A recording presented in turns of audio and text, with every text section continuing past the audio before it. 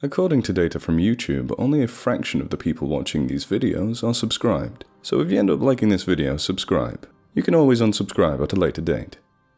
About an hour later, we all had small travel bags packed with clothes, phone chargers, toothbrushes, and were on our way to Gay Jake's. Gay Jake lived on the outside of town in his own house, and thanks to his parents, had more money than God. It also happened that his best friend Lita was staying there while she was in town. This was super lucky because she likes hunts and used to hunt poachers or something like that. Anyway, she's supposed to have killed more men than malaria, and whilst Milo and Tegan are getting their shit together, I think we'd all be pretty safe around her, should something go down at the house. Milo and Tegan ended up riding with me and Jasmine in the back seat. About halfway there, Tegan asked, So you think that we can trust this gay Jake with our secrets and to keep them safe? Jasmine answered, Oh, yeah, totally. Gay Jake is keeping secrets about half the people in the state from the other half of them. He's one of the nicest people in the world, too. I don't think he's ever not helped someone when they need it. But he does have a really fruity southern accent, so please don't make fun of him. Are you serious? Milo screeched from the back seat. He's rich, super nice, has dirt on everyone, has a super fruity southern accent, and his name is Gay Jake? He sounds like the coolest guy ever. I have to meet him. I need to meet him. Jasmine and I both laughed at the idea that the actual mythical creature in the back of the car was so excited to meet Gay Jake. After that, it took about 10 minutes to get to the house, going slow to keep from drawing any attention or anything. We pulled in at close to 11 o'clock, only to see Gay Jake's body lying in the middle of the driveway. Holy shit, is he okay? Milo yelled from the back as Tegan gasped in shock. He's fine, I said. That's just how he waits for company sometimes. Move, shithead! I yelled out of the window, laying on the car horn as I did.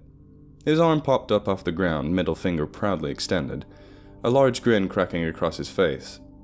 As he hoisted himself off the ground, I yelled again, I'll run your gay ass over. Well, now isn't the carpet muncher calling the kettle black? He said, walking over to the open window. Y'all alright? You get here okay? Asked, sticking his head through the window to check everyone. Yeah, everyone else ought to be pulling up in a second. We really owe you for this one, Jake.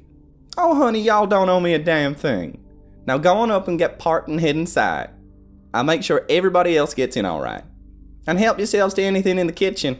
Y'all know where everything is. It ain't changed none. I love him. Milo whispered in my ear as we drove up the driveway to park.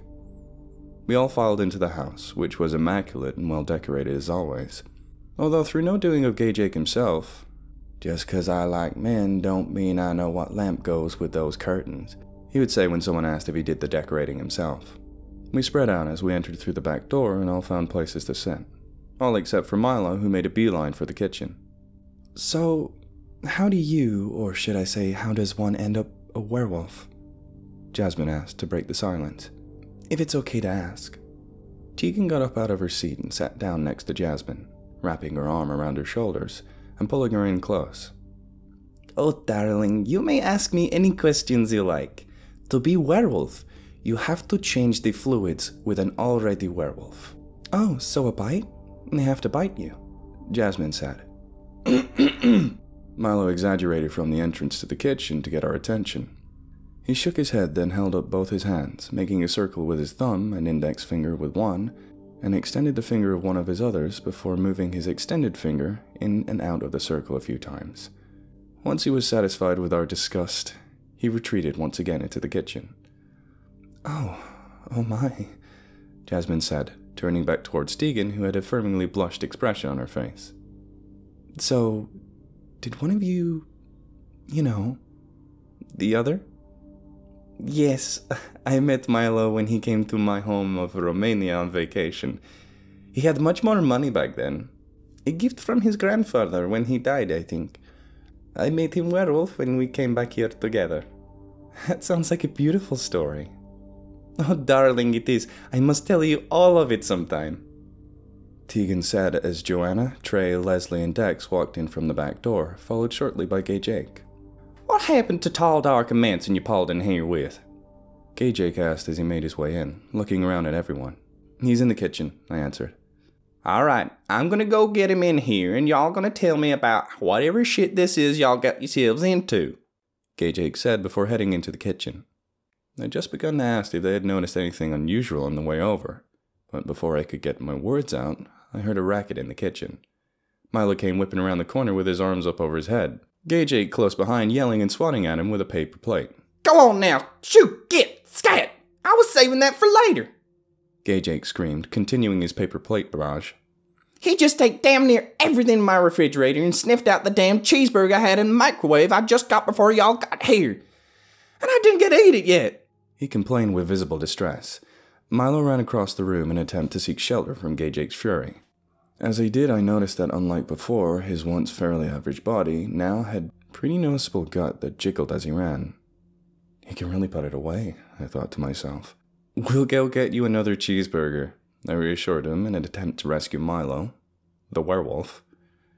Once I got everything calmed down and everyone got situated in the living room, I began to explain the entirety of the situation to him.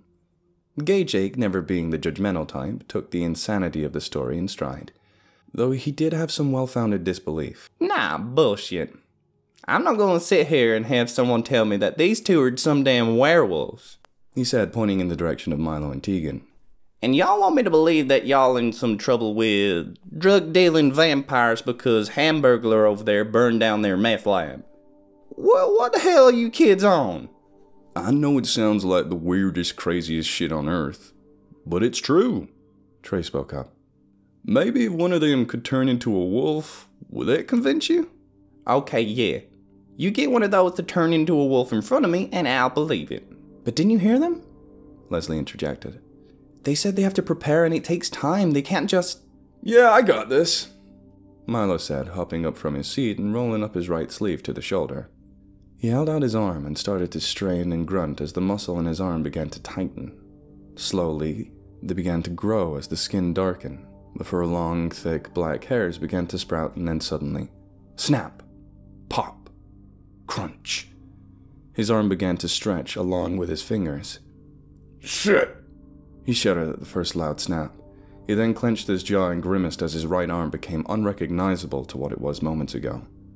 Come on, you fuckers. Almost there, he said to himself through gritted teeth as he flexed and shook the tips of his elongated fingers as the nightmarish claws began to protrude and pop away the fingernails that were growing out from under. As this went on, I was the only one who noticed that his newly obtained belly had been receding back to its normal size. Oh my god, are you okay? That looks like it hurt like a bitch. Gay Jake shouted as he ran to Milo's aid, whose face was now bright red and covered in sweat. His right arm now looked exactly as it did the night we met. And I do mean exactly. It was way out of proportion with his body, the tips of his claws just short of touching the floor. Once Gay Jake had a chance to take everything in, we began to get on the same page. He had always been one to stay calm and take things pretty well. But I don't think anyone expected him to just accept that a man grew a werewolf arm right in front of him. When I asked him how he managed to stay so cool in the situation, he replied with a sassy, Sweetheart, if I look this good and I'm still single, then anything is possible. After that, we sat and talked for hours in an attempt to formulate a plan. But like most people our age, we only managed to agree to put it off until later and focus on getting more food. It became apparent that we weren't going to get anywhere after Gay Jake spoke out mid conversation. Alright, look, you're gonna have to do something with that. He exclaimed, pointing at Milo's grossly oversized wolf appendage. But you seemed so accepting of it earlier. Dex chimed in sarcastically. I was, and I am. Gay Jake argued back. But it still freaks me the fuck out. Keep thinking it's gonna try and crawl towards me or something. Just, here, put this blanket over it. That morning, I went to the grocery store accompanied by Dex and Lita, who'd been sleeping upstairs the night before. We also were in the company of Gay Jake's no limit credit card and Leslie's van so we could haul as much food as possible, not only to feed the troop of people currently kept down in the house, but to bulk up our two lycanthropic allies. It also turns out, to everyone's surprise, that Lita required absolutely no convincing that Milo and Tegan were werewolves, and that we're on a spun out gang of vampires shit list. As it would happen, Lita already knew about all that shit. According to her, she was a licensed member of the American United Association of Certified Vampire Control Technicians, or AUACVCT for short. A WACVERT, if you prefer.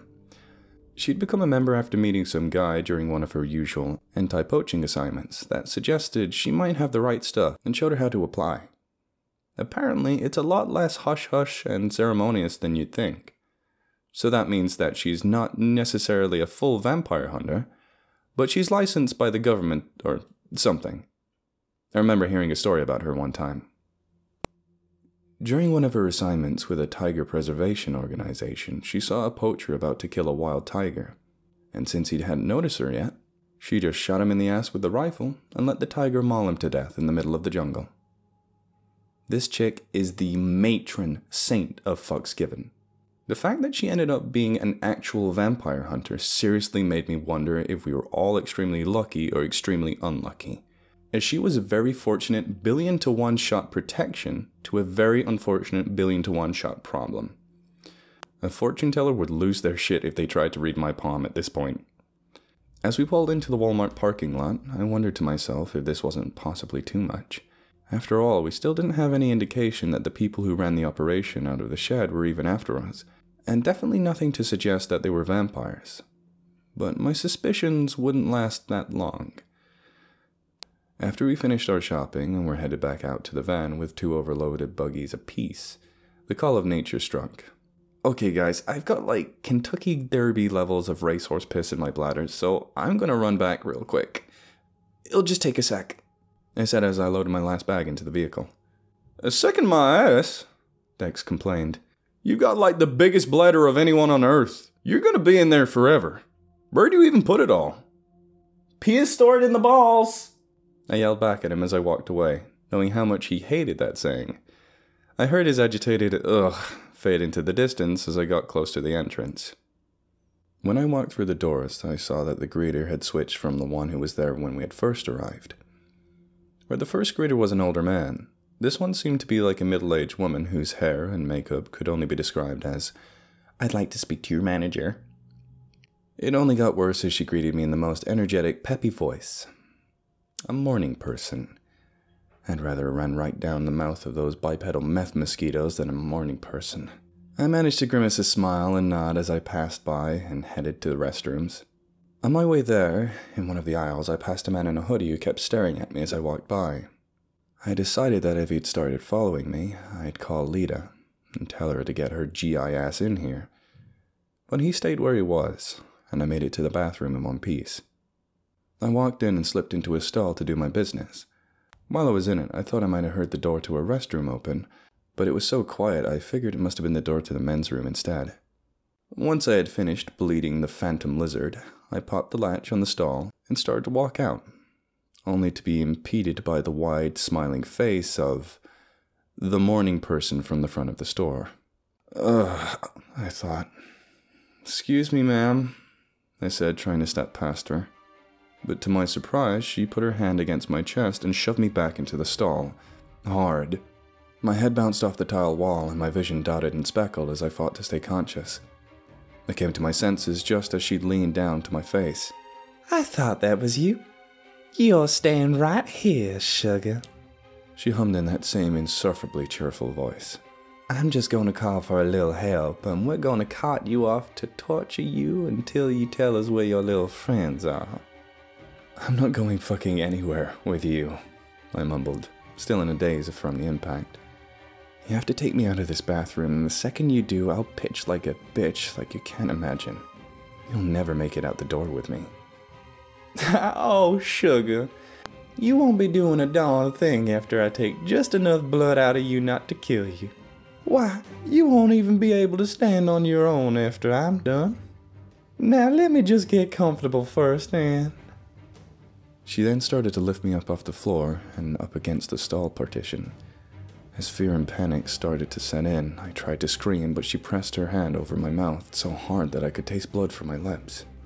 I kicked and screamed and punched, but nothing even seemed to bother her as I felt the hand on my mouth begin to push my head to one side to expose my neck. I watched in horror as her face aged 40 years in front of me, Her now bloodshot eyeballs seemed to bulge from their sockets as she opened her mouth and extended her tongue. At that point, her front teeth had begun to retract upwards to reveal two large, sharp, triangular fangs that spanned the entirety of where all her original teeth should have been. After this, the top of her tongue began to split down the middle and blossom to open and expose two rows of tiny cactus like spines, making a revolting suction sound as it did. She started to lean towards me, excitement gurgling from her open maw. I still couldn't pry myself from her grip despite my frantic struggles. Just as I felt her hot breath on my face, I slammed the point of my knife straight down into her exposed eye with every bit of strength I could muster. While she had been putting her game face on, I managed to get my hand under my shirt and free the knife from my waistband. I felt the tip hit bone and a grinding scraping sensation as the blade slid across the back of the socket. I took my other hand and hammered it into the butt of the handle just to really sink it in. The knife was pulled from my grip as she snatched her head sideways, emitting a screech of agony as she hit the floor and began to flail. I didn't hesitate. I bolted from the stall and slammed into the locked door. Frantically trying to turn the latch, I finally managed to get it open and take off through the store. By the time I got to the van, Lita was in the driver's seat facing Dex in the back. I opened the passenger door and got in as fast as possible. See, I told you it would take forever. We've been here for like 15 minutes and Lita keeps doing that thing where she keeps saying, I must break you, in Dolph Lundgren's voice, and she knows it freaks me out. Dex griped as I sat down. It's not my fault he's a put. Hey, are you okay? Lita said once she turned to look at me and saw that sweat was running down my face and the blood dripping out of my mouth. Before I could collect my thoughts to answer, Broken glass exploded into the cab from the driver's side window. Morning bitch must have gone out a back door, circled round, and dived through the window after us. It took Lita a second to orientate herself, but once she did, oh boy, oh boy. Operation Oh Hell No went into full effect. Lita grabbed the handle of my knife that was sticking out of her eye socket to hold her head in place and started raining down elbows on her temple like it was what all the cool kids were doing. Every blow bouncing Morning Bitch's head off the steering wheel, causing the horn to bark over the sound of Dex freaking the absolute fuck out in the pack. Lita continued the onslaught until the blade finally slipped loose of her head, allowing her to slide out of the window and onto the pavement. As soon as we heard the dull thud of her body crumple to the ground, Lita fired up the engine and peeled out of the parking lot as fast as she could. Are you okay? She asked once again, glancing back and forth from the road to me. Yeah, yeah, I'm good. I answered, looking down at my hand when I felt a warm, stinging sensation in my palm. A deep gash ran through the center of my palm. My hand must have slid down onto the edge when I stabbed her. As I looked, I noticed a few thin, black lines snaking their way around, peeking out from under the flowing blood as they headed down my wrist towards my arm. Sliding my hand into my pocket, I reassured her. I'm fine. Everything's fine.